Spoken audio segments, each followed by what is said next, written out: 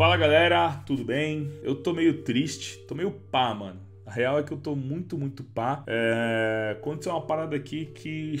Mano, sentimento assim de tristeza com raiva é algo, mano, algo. É algo ruim de se contar, né? Eu não posso, não, não, não tenho o que eu fazer para ajudar o lesado. O lesado já foi lesado aqui, não tem é, mais o que eu possa fazer. Porém, eu posso talvez buscar, né, junto com vocês, um ban pro scammer aqui no caso, vocês vão entender o que eu tô falando. E talvez eu possa evitar que isso aconteça com outras pessoas, tá ligado?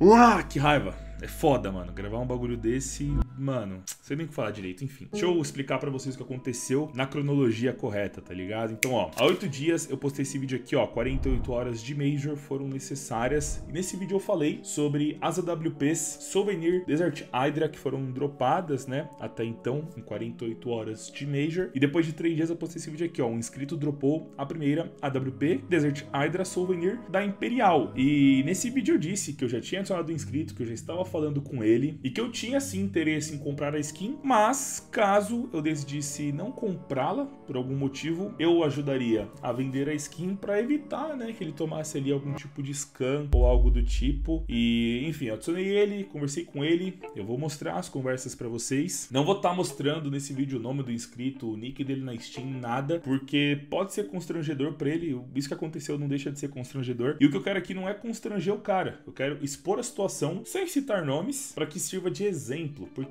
sabe que me dá raiva? Dá a impressão que sempre que eu chego e falo assim, ó oh, rapaziada, eu vou adicionar um inscrito, eu tenho interesse nessa skin dele, mas caso é, eu não venha comprar, eu ajudo o inscrito a vender, vender por um valor justo para um vendedor confiável. E sempre que eu falo isso, sempre que eu trago esse assunto para vocês, eu sinto que tem um pouco de desconfiança de uma certa galera, como se eu tivesse ali segundas intenções, como se eu tivesse ali aproveitando da falta de conhecimento do inscrito e talvez de um sei lá, de uma possível admiração que o cara tenha por mim para eu conseguir aquela skin por muito menos do que vale algo do tipo. A impressão que dá é que eu não passo a confiança que eu deveria. E aí acontece o quê? Acontece essa merda que aconteceu aqui agora. Então, deixa eu explicar para vocês. Essas são todas AWPs Desert Hydra que foram dropadas até agora com adesivo da Imperial, é uma skin da coleção do Emirates, dá pra ver que a minha orelha é do Brasil. Inclusive, tem uma nova aqui, que é uma até melhor daquela que eu havia mostrado para vocês antes. Foi dropada na partida contra a Cloud9. Eu já mandei solicitação aqui pro cara que dropou, porque eu tenho muito interesse em comprar essa skin, enfim. Mas essa skin foi dropada algumas horas. Antes, a melhor Desert Hydra até então, com adesivo da Imperial, era do inscrito, que eu fiz um vídeo lá falando sobre tudo mais. Agora dá pra ver que o inventário dele tá zerado, não tem nada, porque ele foi escamado, rapaziada.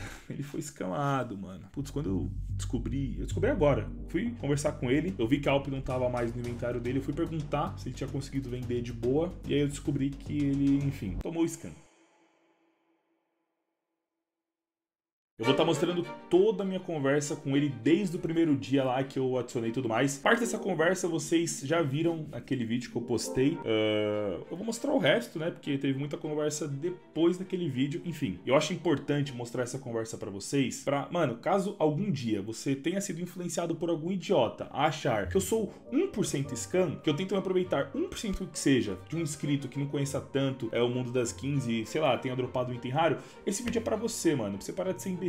Porque se eu quero uma skin, eu vou lá e compro. Simples. E eu tenho milhões de contatos no mundo inteiro, milhões de sites que me oferecem aquela skin. Não tem motivo para fazer esse tipo de coisa. E eu posso estar tá um pouco tiltado, mas é porque eu tive a impressão, inclusive com esse inscrito, mas ele não tem culpa nenhuma, de estar tá passando esse receio, de estar tá passando esse receio para as pessoas, que eu tô ali pra, sei lá, me aproveitar. Enfim, vou mostrar a conversa. Ó, quinta-feira, 12 do 5. Chamei ele aqui, ó, salve como você tá, dropou hoje essa aula, pirada demais. Aí essa conversa vocês já viram. Eu perguntei aqui, ó, quantos anos você tem? Posso postar um vídeo sobre a sua Alp e dizer que estamos conversando sobre? Ele disse que tem 20 anos e falou que eu poderia postar sem problema nenhum. Agora a parte da conversa que vocês não viram até então. Ó, na sexta-feira, dia 13 do 5, acho que vocês não viram, né? Enfim. Ele me chamou e disse o seguinte, ó. Salve, Rian. Passando hoje aqui só para te avisar que recebi uma proposta pela WP. Porém, não conheço o cara e não sei se é confiável. Aí eu, né, eu cumprimentei de volta e eu falei: "Você pode me dizer qual foi a proposta? Porque eu posso te ajudar. Mesmo que eu não compre, te ajuda a vender para evitar que você sofra algum golpe." Sei da importância que esse dinheiro pode ter para você e sua família. E ele disse aqui que a oferta foi de 2.2k euros e deu o nome da Steam do cara. Eu acho que essa conversa vocês viram sim, na verdade, que eu fui Steam desse Foxeira, era um português, apareceu do nada, sem nada no inventário, eu fiquei, achei estranho. Aí eu fui verificar o perfil, ele agradeceu aqui por aparecer no vídeo, ó, pô, irmão, maior satisfação aparecer no seu vídeo. Só tenho a agradecer, cara. Obrigado desde já. Mesmo que eu não venha vender para ti ou para algum conhecido seu, sério, muito obrigado mesmo. Enfim, aqui eu não respondi ele sobre o Foxeira, eu ignorei na Steam porque eu respondi sobre esse Foxeira no vídeo, tá gravado. Mostra aí, editor e queria verificar o perfil do mano. E eu farei isso agora. Então vou ver o perfil do Foxeira, já vi aqui, ó. É de Portugal. De cara você olha assim o perfil do cara e fala, mano, é scan, tá ligado? Não tá no inventário, carinha de scan. E na verdade isso pode não significar muita coisa não, rapaziada.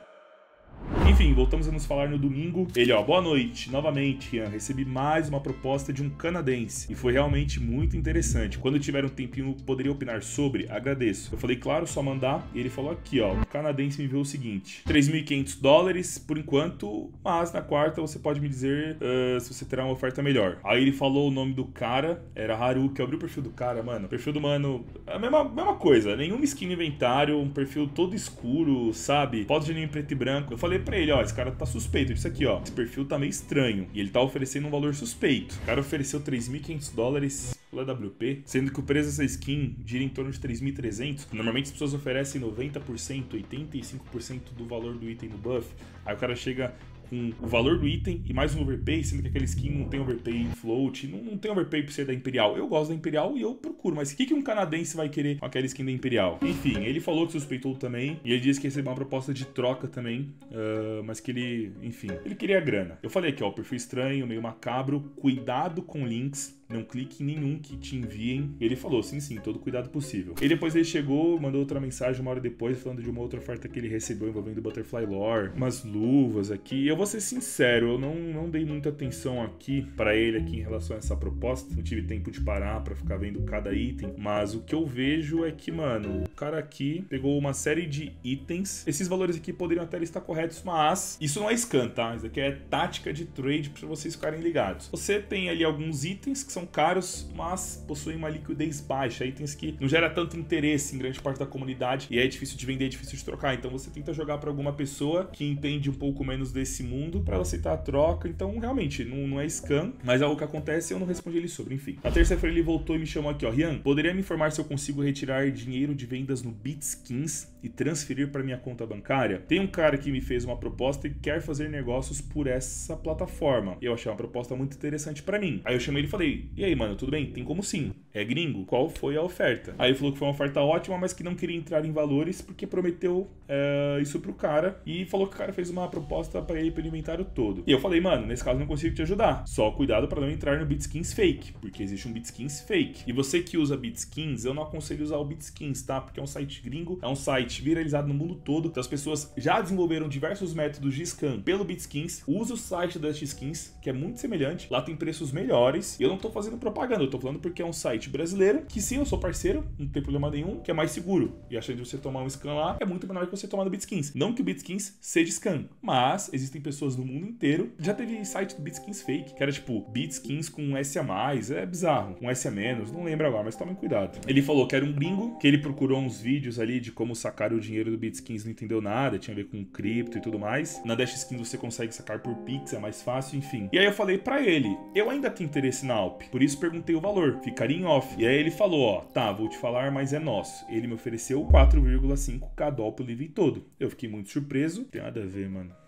Aí, ó, se o eu tava oferecendo 3,5 já era suspeito, imagina que tava oferecendo 4,5 mil dólares. Uh, e ele falou, ó, fiquei surpreso, foi quando ele me disse que faria pela Bitskins uh, e não por troca direta na Steam, porque me cheirou muito a scam. Ou seja, qual foi a tática do scammer aqui? Ele faz uma proposta boa e de cara já chega assim e fala, ó, fica tranquilo, tá? A gente vai fazer isso pelo Bitskins, então você não vai ser escamado, porque se ele oferece só o valor, quem tá ali já vai ficar desconfiado. Putz, é scam, mano É cara, me dei mal. Quando ele fala que vai fazer uma plataforma confiável, né? Porque vocês vão ver o que vai acontecer, o cara fica mais de boa. Foi o que aconteceu aqui com o mano. Eu falei, ó, tá bem alto mesmo, vale a pena vender. Sabe como funciona o Bitskins, né? Você põe a Alp lá por esse valor e ele compra. Qualquer outro modo que não seja esse é scan. Porque eu pensei no seguinte: o que esse cara pode estar tá fazendo com o inscrito? Ele quer comprar o inventário todo, né? Então ele não queria comprar só WP. Ele ofereceu um valor astronômico pela WP e mais uns 5 itens que não davam esse valor de 4.500. Então ele podia chegar pro cara e falar assim: ó, vou pagar 4.500 por 5 itens, anuncia todos por 500 dólares que eu vou comprar todos aqui. Aí vai lá, o cara anuncia todos por 500 dólares para no total dar 4.500, sendo que o cara vai lá, entra na plataforma, compra só a WP por 500 e, mano, bloqueia o cara, tal, o site vai mandar alp para ele porque ela foi anunciada por esse valor, ele comprou por esse valor. Enfim, eu pensei nessa possibilidade, então eu falei para ele, vende só a WP por esse valor e depois envia o resto, porque eu pensei nessa possibilidade.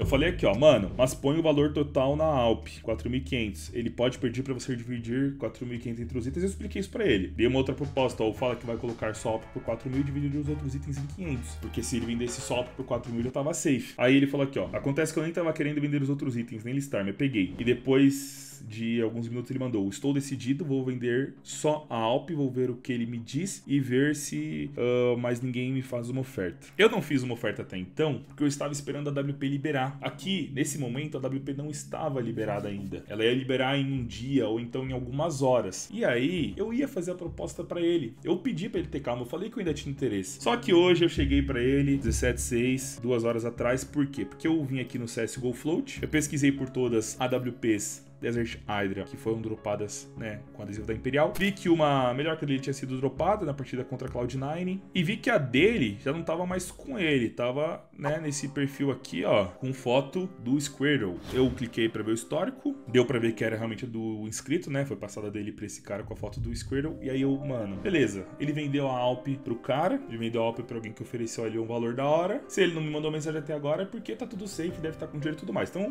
né? Beleza. Aí eu fui chamar ele. E aí, conseguiu vender? Ele me respondeu o seguinte: Então, Rian, eu fiz os negócios lá do Bitskins, só que não aparece minhas skins lá no site. É normal demorar?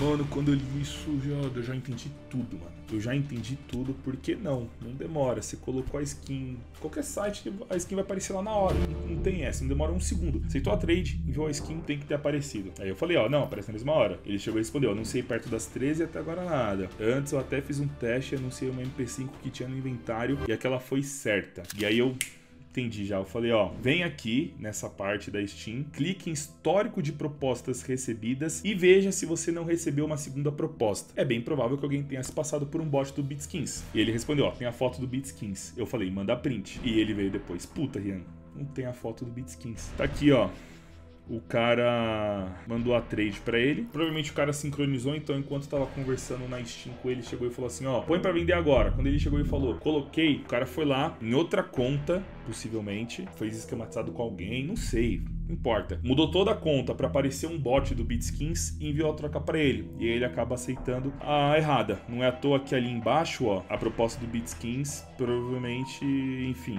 chegou também, mas foi cancelado assim que ele aceitou a do mano, assim que ele aceitou a fake. E ele perguntou: é golpe? Falei, sim. Eu ainda falei, mano, você teve muita pressa, ao invés de confiar em mim, agora já era. E, mano, a minha raiva é do scammer. Esse cara não tenho raiva nenhuma. Eu fico muito, muito, muito, muito triste porque eu fico pensando na frustração do mano, tá ligado? Pensa no cara ter dropado um item, um item que ele sabe que vale ali, sei lá, os seus 10 mil reais. Ele fica todo feliz, putz, ganhei 10 mil reais. Pensa no tanto de pessoa que ele deve ter contado isso daí, tá ligado? Tanto, sei lá, às vezes o cara chega Pensa, mano, vamos inverter a situação. Você, você dropou um item no CSGO, um item de 10 mil reais, você fica mal feliz. Ah, vou vender por 10 mil reais, ganhei 10 mil reais. Chega pra sua mãe, ô mãe, ganhei 10 mil reais. Pra sua irmã, chega pro seu pai, pai, ganhei 10 mil reais. Vou pagar aquela conta que você precisava, aí você toma um scam. Então, mano, por isso que eu fico muito, muito, muito, muito triste. Eu não posso fazer nada, rapaziada. Infelizmente, eu não posso fazer nada. Não sei, assim, o que eu posso fazer, talvez uma vaquinha, posso me juntar aí com outros youtubers, streamers, todo mundo, mano, coloca uma grana e a gente dá pra esse cara pra ajudar ele. Mas também ninguém tem culpa disso, tá ligado? A responsabilidade é dele. Eu me dispus a ajudar lá no começo, tá ligado? Para que esse tipo de coisa não acontecesse. Ninguém tem obrigação de nada. Caso tenha streamers, youtubers que queiram, né, sei lá, me ajudar, eu topo, tá ligado? A gente faz isso daí. Mas por enquanto, a única coisa que eu posso fazer é gravar esse vídeo para que vocês não caiam nesse tipo de golpe. Por favor, tomem cuidado, mano. Nossa, aqui no canal, mano, cachorro 1337 scan. O que vai de vídeo ensinando a você não ser escamado? Mano, tem muito vídeo sobre, contando sobre certo scam que aconteceu, explicando como não cair. Então, assim, vamos tomar cuidado, rapaziada. Pelo amor de Deus. E outra coisa, vamos denunciar o perfil desse mano. Vamos denunciar esse usuário. Vou deixar o link no comentário fixado. Vocês vêm aqui denunciar envolvimento em roubo, fraude e outras atividades maliciosas. A skin difícil. A skin não volta. A skin não volta pro, pro, pro inscrito, infelizmente. Mas ele pode tomar um trade ban e aí vai evitar que ele consiga liquidar essa skin. Ou seja, não vai virar dinheiro para ele. Se ele tomar um ban em até 7 dias, ele não consegue vender skin, ela já não vale mais nada. E aí, meu amigo, esse scan dele não vai ter servido para nada, porque ele não vai conseguir vender, trocar, nem nada. Vai acabar a conta dele. Ele não vai ter como trocar. E vai evitar com que, pelo menos nessa conta, ele, né, volte a aplicar esse, esse scan, esse roubo em outras pessoas. Então, a gente vem aqui, roubo de itens ou fraude, enviar essa conta para análise. E aqui você escreve em inglês ou português, não sei. Vou deixar uma mensagem automática aí no comentário fixado também. Uh, enfim, para caso você queira ajudar. E se ele tomar um ban, vai ser muito legal, vai ser muito bom. E fica de alerta para vocês. Cachorro, como que eu sei qual que é a trade correta? Primeiro você tem que verificar se a sua API não está clonada. Coloca aí no YouTube Cachorro 1337 API. Tem um vídeo só sobre isso, ó, o scan mais perigoso que existe. Eu explico aqui como não cair nesse scan. Mas resumindo, para saber se sua API não está comprometida, vocês vêm aqui ó, em steamcommunity.com/dev/apk e aí não pode ter nenhuma outra API que não tenha sido você que colocou, porque aí o cara consegue cancelar suas trocas e criar outras. É mó bizarro. E quando você for vender um item, eu vou usar o exemplo aqui do Dash Skins. Então, ó, primeiro, checa se é o site correto, tá ligado? Se você ir pelo link da descrição, por exemplo, você não vai ter erro. Aí vamos supor que eu quero vender um item, eu quero anunciar um item aqui na Dash Skins. Eu venho aqui, seleciono o item, tá ligado? Aí eu coloco o valor que eu quero vender, vamos supor, vou colocar esse item aqui em uh, 3.500 reais. Enviar proposta de troca pelo item. Ó, agora é o momento, não abre a sua Steam, vem aqui e fica esperando a proposta de troca. Não, fica no site, porque o site vai te dar a opção de você abrir a trade correta, direto pelo site. Utilize o botão abaixo para abrir a troca com segurança. Caso o link entre em uma proposta inexistente ou cancelar, recuse todas as propostas, sua chave API pode estar comprometida. Então, ó, o próprio site já avisa aqui, mano. Clica no botão ele passa ali o ID 64 do bot que vai te enviar, né, a troca e o grupo que o bot tá. Então você vem aqui, ó, primeiro, dá aquela verificadinha, pai. O bot tá no grupo Dash Skin Bots. Segundo, Steam D64, isso daqui não é alterável, não tem como mudar. Aí você pode ir lá, ó, e aceitar de boa. Agora, se você vem aqui nas propostas de troca, pode ter um outro cara que vai enviar uma outra igual com o mesmo nome, então, enfim. Tomem cuidado. Não tem o que fazer. Esse tipo de coisa já aconteceu com o mano. Fazer o quê? Se vocês toparem, eu posso usar uma vaquinha para quem aqui é do canal mesmo. Ou sei lá, outros streamers, youtubers que queiram ajudar. Mas não é certeza que isso vai acontecer. Porque, enfim, ninguém tem culpa do que aconteceu. Ninguém, né? Ninguém tem obrigação de ajudar, infelizmente. O que eu posso fazer é isso daqui. Uh, e guys. Só lembrando vocês que esse mês, para quem utilizar o meu cupom aqui no CSGO.net, ó, cupom LORE, eu vou fazer um sorteio insano, um sorteio de facas Marble Fates, então já tá garantido aí uma M9, uma Talon e uma baioneta. Vou pegar uma Butterfly também. Eu só não peguei esses dois itens ainda porque eles não tem disponível. E aí, porra, se eu for... Não quero, eu quero, eu vou esperar e pegar essa. Vem aqui no CSGO.net, ó, usa o cupom LORE. Qualquer valor que você depositar já tá safe pra gente formar aqui na descrição. Tomem cuidado, por favor, não deixem esse tipo de coisa acontecer. Tamo junto, guys eu, Rian, vou ficando por aqui. Fiquem ligados. Divulga muito esse vídeo, dá muito like nesse vídeo para evitar que esse tipo de coisa aconteça. E é isso, ó. Tamo junto, valeu. Eu, Rian, vou ficando por aqui. Até um próximo vídeo no canal Cachorro 37. Falou!